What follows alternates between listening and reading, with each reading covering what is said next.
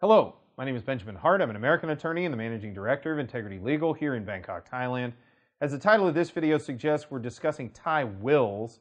So we're discussing wills that are basically signed and formalized per the laws, relevant statutes of the Kingdom of Thailand.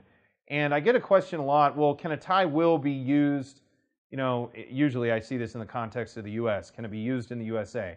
My answer to that is, well, that depends on your definition of a Thai will a Thai will, you know, a will that is in compliance with Thai formality. And to be clear, I'm not a Thai attorney. I'm a naturalized Thai citizen. I'm an American attorney. I'm the managing director of the firm.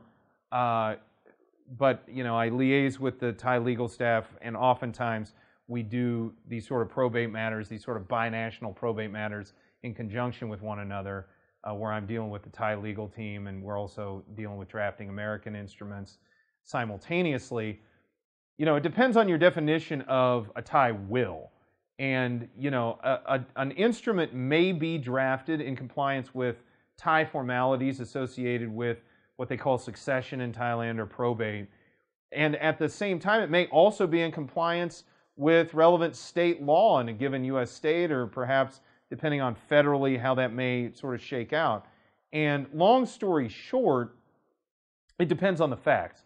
And I know I'm kind of a broken record with that. With you know, some of our longtime viewers will tell me, you know, it depends on the facts. It always depends on the facts. Well, you know, it's like Dragnet, just the facts. You know, the it, it, that that is kind of the answer in a broad sense. Now, we have seen wills drafted where they can they have been used. I've seen them probated both in an American court and then come over here and reviewed by the Thai courts and ultimately and vice versa, where it's dealt with here and it goes over to America.